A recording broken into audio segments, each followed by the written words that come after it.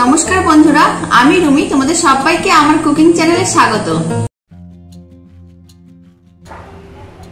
আজ আমি বাড়িতে থাকা উপকরণ দিয়ে খুব সহজে বানানো যাবে এরকম একটি জলখাবার বানানো দেখাবো। আর এই জলখাবারটি বানানোর জন্য কিন্তু এক ফোঁটা তেলের প্রয়োজন পড়বে না। খেতেও কিন্তু বেশ ভালো হয়। রেসিপিটা শেষ পর্যন্ত দেখার জন্য আপনাদের কাছে আমার অনুরোধ রইল। আর এই জলখাবারের রেসিপিটা ভালো লাগলে প্লিজ চ্যানেলটিকে সাবস্ক্রাইব করে নেবেন পাঁচ টাকা বেলাইকানটি প্রেস করে নেবেন। আমি যখন নতুন কোনো রেসিপি আপলোড করব, আপনাদের কাছে সবার প্রথমে পৌঁছে যাবে। তো চলুন দারুণ সাথে জলখাবারগুলো বানানো শুরু করা যাক। আর বাড়িতে বানালে আমাকে কিন্তু কমেন্ট বক্সে জানাতে একেবারেই ভুলবেন না। জলখাবারের রেসিপিটা আপনাদের কেমন লাগল? জলখাবারটি বানানোর জন্য প্রথমে আমি একটি প্লেটে একটি সেদ্ধ আলু নিয়ে নিয়েছি।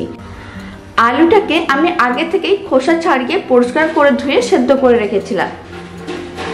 এবার আলুগুলোকে আমি ম্যাশ করে নিচ্ছি। এইভাবে আমি হাত দিয়ে ভালো করে ম্যাশ করে নেব। আলুগুলোকে খুব ভালো করে ম্যাশ করে নিয়েছি। এখন আমি এর মধ্যে দিয়ে দিচ্ছি একটা কুচনো পেঁয়াজ। পেঁয়াজগুলোকে আমি একেবারে ছোট ছোট টুকরো করে কেটে রেখেছিলাম।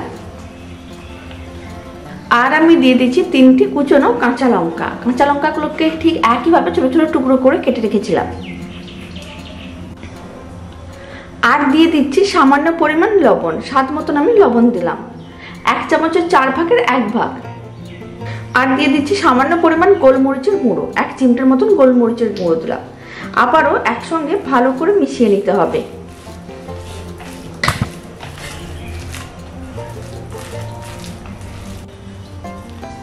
সমস্ত উপকরণগুলো একসঙ্গে ভালো করে মিশিয়ে নিয়েছি। এখন আমি এক সাইডে রেখে দিচ্ছি। এখন আমি একটা মিক্সিং বোল নিয়েছি। আর এই মিক্সিং বোলের মধ্যে আমি দিয়ে দিচ্ছি মেজারিং কাপের হাফ কাপ ময়দা। এখানে একশো গ্রাম ময়দা আছে। আর এই ময়দার মধ্যে আমি দিয়ে দিচ্ছি এক চিমটে লবণ।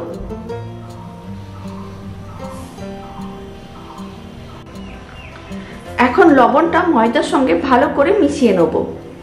তারপরে অল্প অল্প জল দিয়ে একটা ডো বানিয়ে নিতে হবে।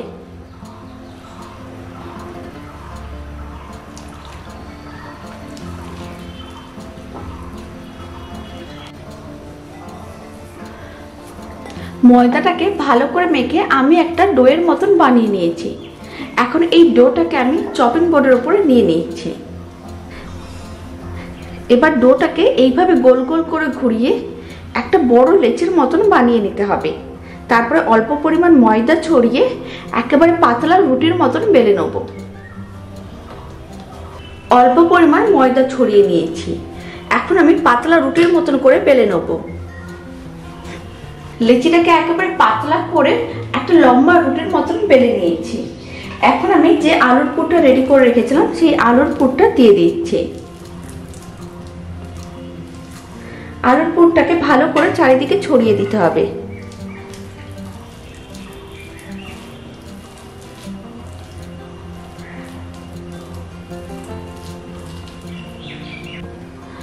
আলুর পুরটা ভালো করে ছড়িয়ে নিয়েছি। এখন আমি একটা সাইড নিয়ে নিচ্ছি রুটিটার। তারপরে এইভাবে রোল করে দিতে হবে।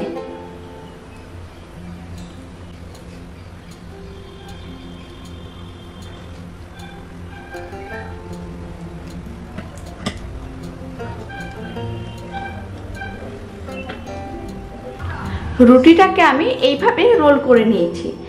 এখন দুদিকের সাইডগুলোকে এইভাবে আটকে নেব। এই দিকটাকেও ভালো করে আটকে দিতে হবে।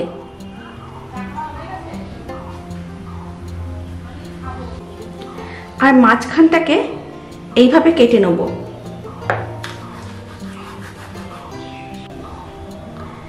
এখন যে জলখাবারগুলো আমি রেডি করেছি, সেই জলখাবারগুলোকে একটা প্লেটের ওপরে রেখে দিচ্ছি।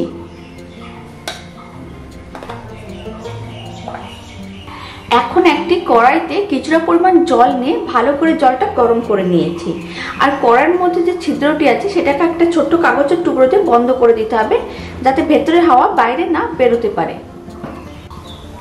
জলটাও গরম হয়ে গেছে। এখন আমি কড়াইয়ের ঢাকনাটি খুলে নিলাম। আর কড়াইয়ের মাঝখানে আমি একটা বাটি বসিয়ে রেখেছি। আপনারা এখানে কোনো ধরনের স্ট্যান্ডও দিতে পারেন। এখন যে প্লেটটির মধ্যে আমি জলখাবারটি রেখেছিলাম, সেই প্লেটটি এখন আমি মাঝখানে রেখে দিচ্ছি। তারপর কড়াইয়ের ঢাকনা বন্ধ করে ফ্লেমটাকে মিডিয়াম টু লোতে করে এইভাবে পাঁচ মিনিট রেখে দেবো। পাঁচ মিনিটের মধ্যে কিন্তু রান্নাটা কমপ্লিট হয়ে যাবে। এখন আমি আপনাদের পাঁচ মিনিট পরে দেখাচ্ছি। ফ্লেমটিকে অফ করে এইভাবে আমি আরও পাঁচ মিনিট রেখে দিয়েছিলাম যাতে একটু ঠান্ডা হয়ে যায়। এখন কিন্তু আগের থেকে অনেকটাই ঠান্ডা হয়ে গেছে। এবার জলখাবারগুলোকে আমি কেটে নেব। এখন এইভাবে কেটে নিতে হবে।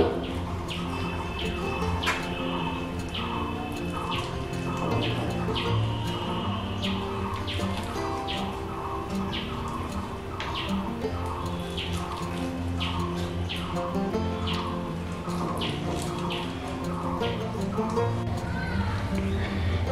আমি জলখাবারগুলোকে প্লেটে নিয়ে নিচ্ছি। আর এই জলখাবারগুলো বানানো যেমন সোজা, খেতেও কিন্তু ভীষণ ভালো হয়। বাড়িতে আপনারা অবশ্যই একবার বানিয়ে দেখতে পারেন। বাড়িতে বানালে কমেন্ট বক্সে জানাতে একেবারেই ভুলবেন না। জলখাবারের রেসিপিটা আপনাদের কেমন লাগল? এবার আমি জলখাবারগুলোকে একটা প্লেটে সার্ভ করে নিচ্ছি। জলখাবারগুলোকে একটা প্লেটে সার্ভ করে নিয়েছি আর ওপরে ছড়িয়ে দিয়েছি কুচনো একটা কাঁচা লঙ্কা। রেসিপিটা শেষ পর্যন্ত দেখার জন্য আপনাদের অসংখ্য ধন্যবাদ। ভালো লাগলে চ্যানেলটিকে সাবস্ক্রাইব করে নেওয়ার অনুরোধ রইল। পাশে থাকা বেল আইকনটি প্রেস করে নেবেন। আমি যখন নতুন কোনো রেসিপি আপলোড করব, আপনাদের কাছে সবার প্রথমে পৌঁছে যাবে। তো চলুন ভিডিওটাকে আমি এখানেই শেষ করছি। আপনারা সবাই ভালো থাকবেন, সুস্থ থাকবেন। আপনাদের সঙ্গে আবার আমার পরবর্তী ভিডিওতে দেখা হচ্ছে।